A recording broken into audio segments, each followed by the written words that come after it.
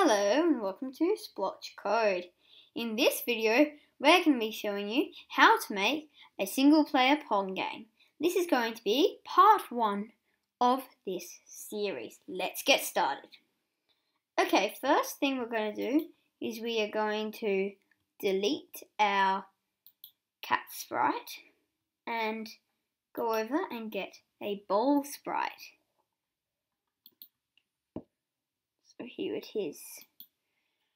Now, I like the blue version of this ball. so we're going to go to costumes and choose ball B. Now our ball is blue. Okay, now we're going to choose a backdrop. Let's have a look. Hmm, I like the stars backdrop. So we'll do that one. Okay, so now we are going to start doing some code on the ball. Grab the when flag clicked, go to x minus 7 and y 98. This puts them in the right position to start. Then we want point direction 45. It's up there. Then we want it for to forever move 15 steps and let's down here and if on edge bounce now let's try out our code so at the moment, I think just bounces around like the ball will do in a Pong game. This is really cool. So now let's move on to the next part. Okay, so now we are going to make a new sprite. We are going to search paddle. Okay, here it is. There's a paddle. Now what we want to do is grab a when flag clicked. Forever loop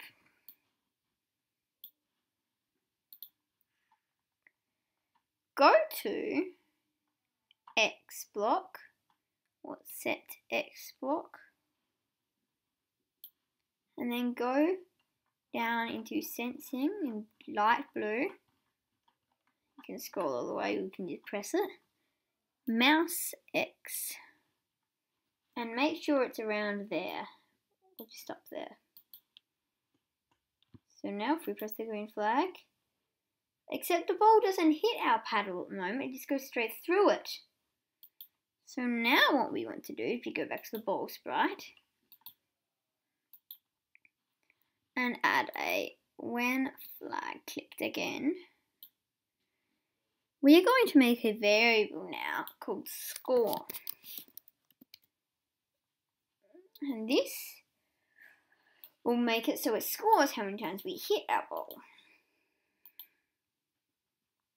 So we set the score to zero, then we grab a forever loop,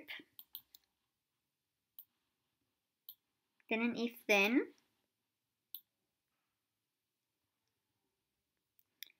if touching. Then we grab a paddle. Then, and grab another if then, time it's if then else. Then, if, and we go down to sensing, I mean, sorry, motion. Sorry, scroll up motion. And we find motion direction. Equals so we grab this one here. And then we put the direction in this circle here. Equals 135 then we turn 90 degrees to that way. So grab that block there 90. around that way. So, and then the other way, we go get the other side block, and now we turn it 90 that way. So now we have a really good version of a single player Pong, but now we're going to make it so it moves 15 steps after the if then else. Then it waits one second so it doesn't get any weird. Wait, waits 0.1 seconds to make sure it doesn't do some weird glitch before changing the score. Grab a change variable, choose from the drop down menu, score by 1. Now let's have a look at our game. Now it's looking very good. Every time we hit it, we get a point and it bounces around the screen, going to the way it's going. Okay, so now we are going to make a line sprite so that if the ball touches our line sprite, the game will end. So let's go to choose a sprite. And then there should be search up a line. Here's a line sprite. Pretty big. Let's just slot it down the very low.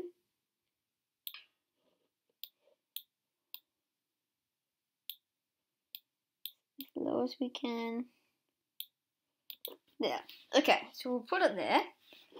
And now we need to make it so if the ball hits it, it um, ends the game. So let's get a when flag clicked forever. I will get a if statement sensing touching ball. So if it's touching ball, we're going to get it to play a sound until done. Now what this sound's going to be is we're going to go over to the sounds tab, choose a sound, and grab crunch. Now, if you want to find out what this sounds like, yeah, that's crunch. So, let's go to code, play sound crunch until done. So after that, we want to make it so everything else stops and hides as we go to our game over screen. So let's get a broadcast message. New message call it stop. Okay, so once we've got broadcast stop in there, we want this line sprite to hide. So we go scroll down, hide.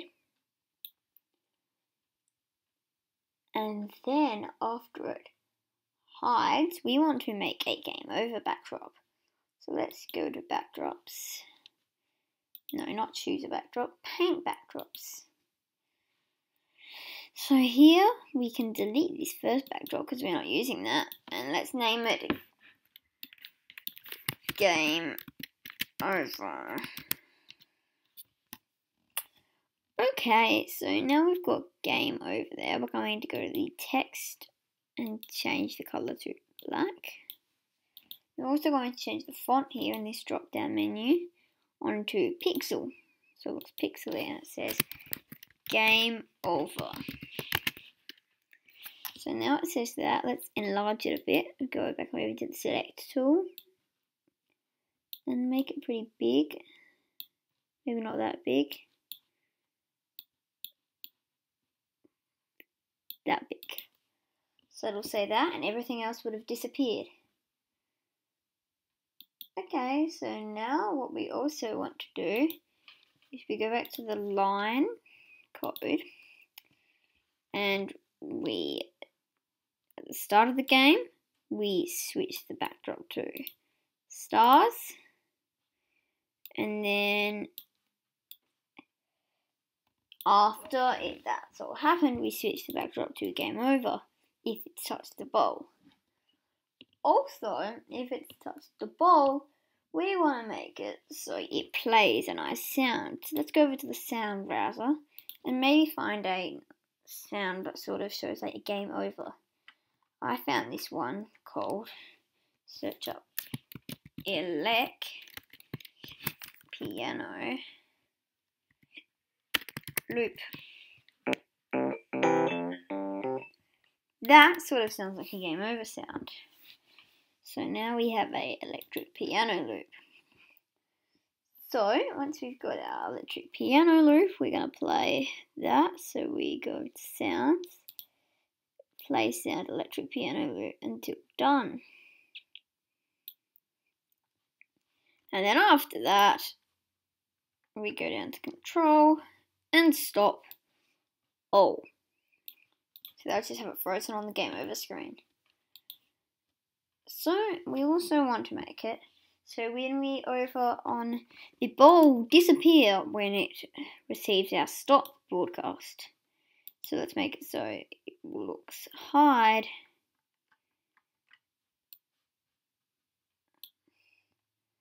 And it goes control and it stops other scripts in Sprite. So you can't move it anymore. Then we also want to get a show and put that here. Now what we can do is we can move this into another sprite as well. Have it duplicated, so we take it over to the paddle. Still in the ball, we go into the paddle, and it's also got our when I receive stop, hide, stop all other scripts in sprite. So now our game should work. Add a show to when flag clicked. Okay.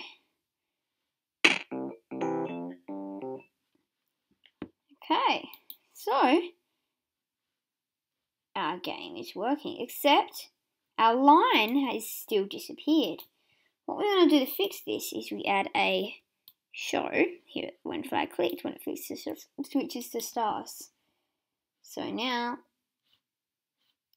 dies, and then when we start again, everything's back, and we can play another game and try and complete this. So now that's all for today's video. Thanks for watching Splotch Code.